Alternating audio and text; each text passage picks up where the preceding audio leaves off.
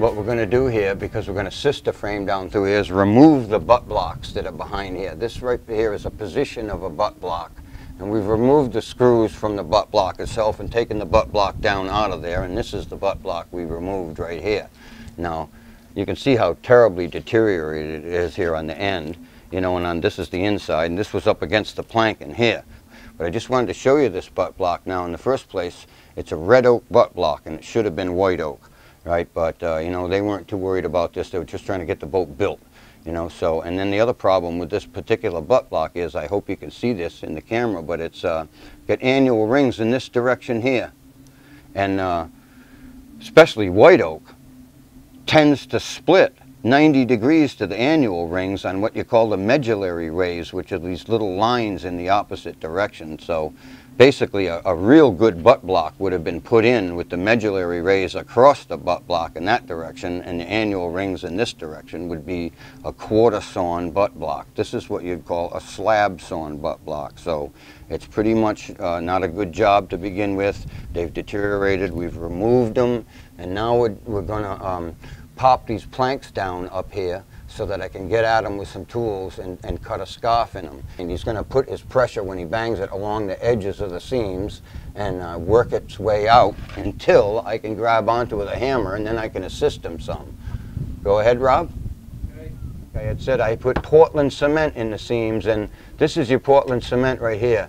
And uh, it's never failed or came out. It's even adhered to the ends of the planking because when you put it up, uh, the ends of this particular plank and the cedar, it's porous. So that cement works its way right into that grain, and it's stuck between those two planks.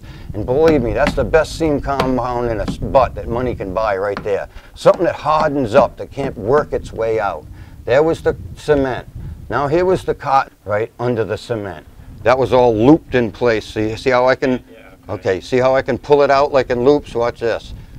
So in other words, that was looped in there. That wasn't just laid in there. There was a technique to that of which I can show later on. Okay, well I'm going to cut the end of this plank off now. I shorten the end of this plank as well as that one. I'm going to use this tool right here. This is actually a little 10,000 RPM grinder with a skill saw blade in it. Now I call it Mr. Friendly. I don't let anybody touch it because it's awful dangerous.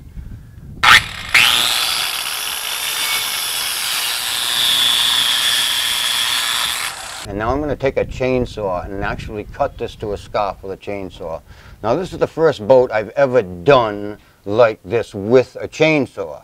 I've normally put two wedges along each side of the plank with the plank in position and then do those with, a, with actually a skill saw and I'm operating it like a milling machine kind of. That's a different process and most people would have done it with a router and all kinds of different methodology but I found that this method is much more effective, faster and certainly more cost effective for the owner of the boat. So what I'm going to do is actually hold the chainsaw up there in this manner here and then cut that right off with the chainsaw.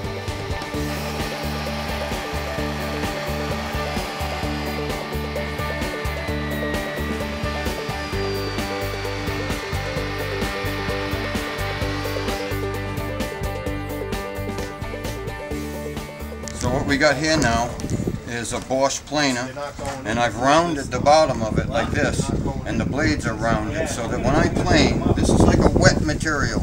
If I had a straight blade all the way across the plane, it would just keep jamming up with stuff in this fuzz and I have to keep cleaning it out. So I've made like a scrub plane out of this and I'm going to scrub this down a little bit more and then shift over to a different plane.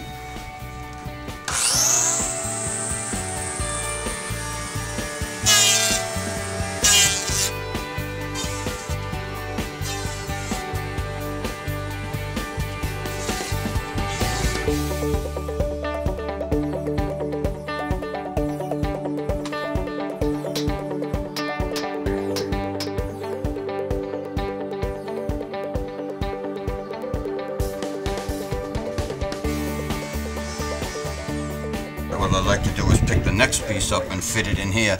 And this goes. So this is obviously a very, very effective way to eliminate the butt blocks in this boat and make the planks, in effect, they're all one piece, one end to the other. These scarfs will never, ever, in years and years, open up or show their faces in any way.